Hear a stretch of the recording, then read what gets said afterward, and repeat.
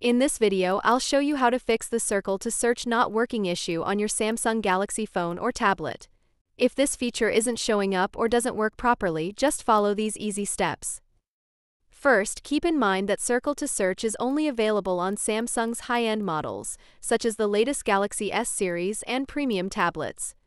So, if you don't see the option at all, make sure your device actually supports it and that it's updated to the latest version of One UI.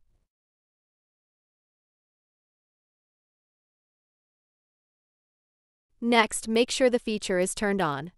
Open the Settings app, scroll down and select Display.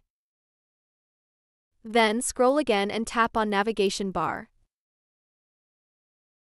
Here you should see a switch for Circle to Search, go ahead and toggle it on. Once enabled, you can now long press the Home button or the navigation bar at the bottom of your screen and simply circle anything you want to search for instantly.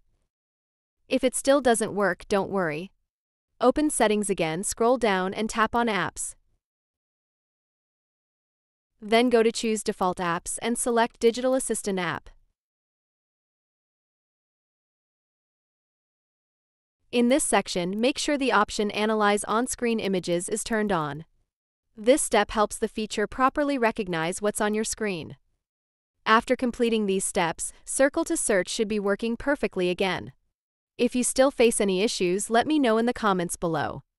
And don't forget to like this video and subscribe for more quick Samsung tutorials. Thanks for watching.